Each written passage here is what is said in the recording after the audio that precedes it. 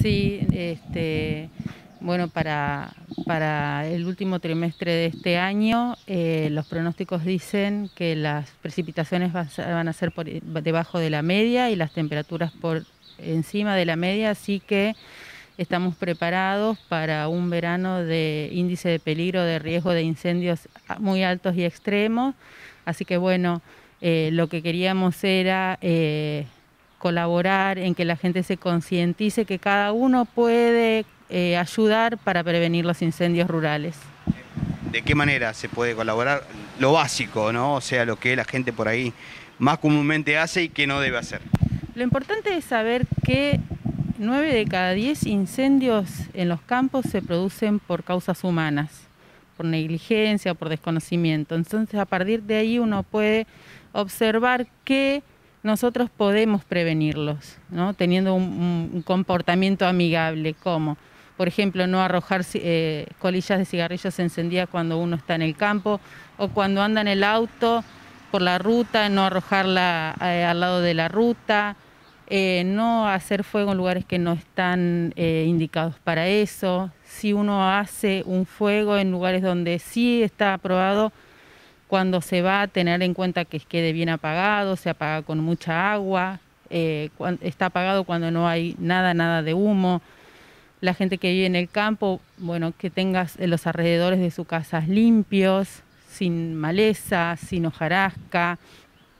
No encender fuego en esta época donde las temperaturas son muy altas, tenemos déficit hídrico, o sea, poca humedad no hay que, no hay que prender fuego para quemar basura. Eh, además, en la provincia de Entre Ríos, desde el primero de diciembre hasta el último día de febrero están prohibidas las quemas. De ningún, no se pueden hacer quemas de ningún tipo. ¿De qué manera eh, se preparan en la, zona de campos, en la zona rural, para eh, apagar incendios, porque una, una, cosa es en la ciudad, donde uno llama al, cuerpo de bomberos y rápidamente pueden estar, pero en el campo esto obviamente es más complicado por las distancias. Claro.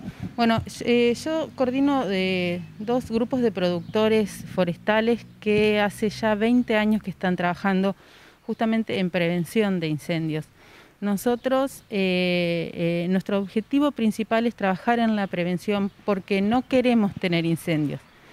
No obstante, eh, los incendios existen igual y lo que hacemos también es trabajar en detección temprana de columnas de humo porque los incendios que tenemos los, los queremos combatir cuando sean pequeños. Entonces, en la costa del río Uruguay, en los departamentos de Concordia y Colón, hay una red de detección de incendios con torres y cámaras que son operadas desde una central de operaciones.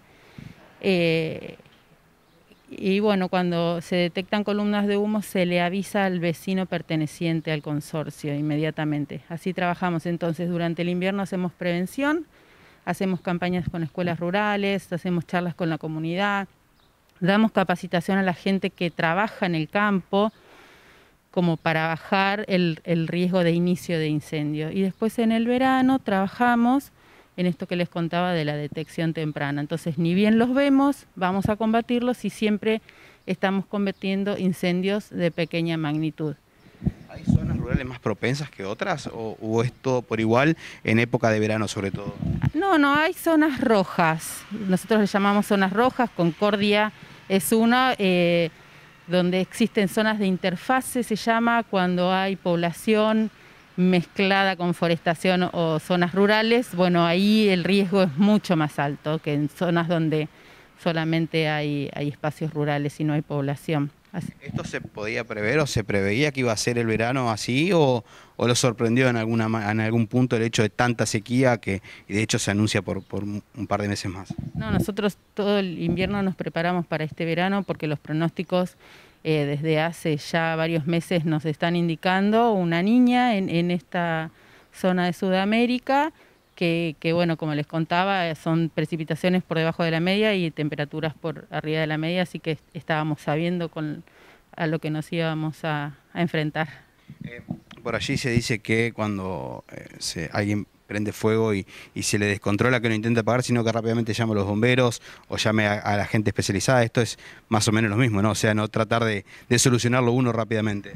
Sí, claro. Lo primero que hay que hacer es llamar al 100 que donde uno esté se va a comunicar con, bomberos voluntarios.